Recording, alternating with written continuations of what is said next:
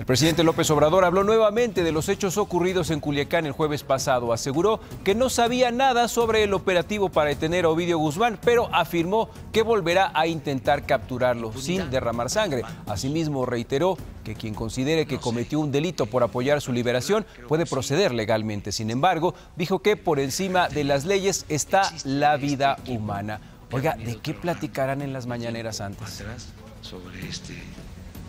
Yo no estaba eh, informado, no me informan en estos casos, porque hay una recomendación general, hay un lineamiento general que se aplica, le tengo mucha confianza al secretario de la Defensa. No puede haber este, impunidad, nada más que hay que cuidar a la población, no deben de haber los llamados daños colaterales.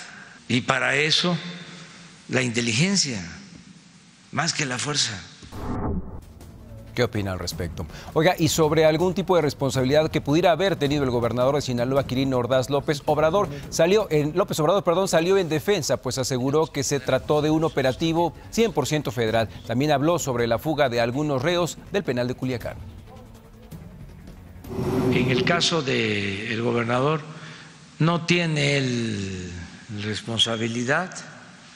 Eh, esto fue una decisión y un operativo de la Federación, del Gobierno Federal, de manera particular de la Secretaría de la Defensa. O sea, no tiene este, eh, ninguna responsabilidad, no.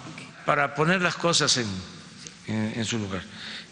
Los reos escaparon porque pues hay eh, delincuentes en la cárcel de este grupo y tomaron a los eh, custodios, eh, no hubo resistencia. Sin responsables entonces. Imagen Noticias con Francisco Sea, lunes a viernes 5.50 N. Participa en Imagen Televisión.